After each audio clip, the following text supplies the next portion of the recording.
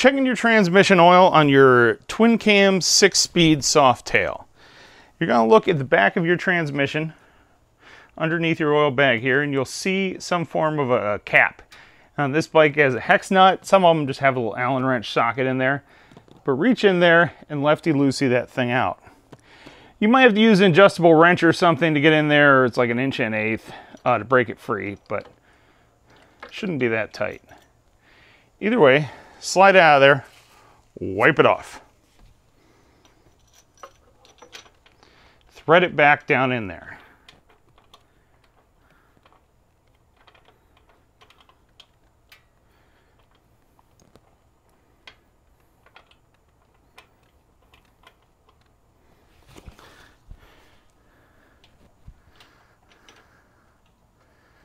Good lord, come on.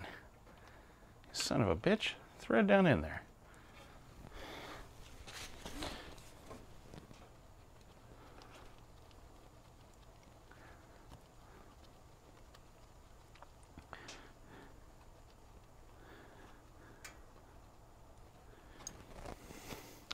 In order to check your oil, you want to make sure the bike is standing straight up and down.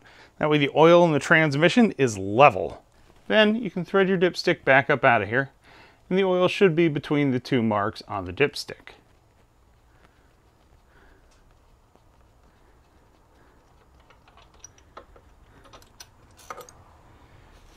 And right there we can see, see these two marks.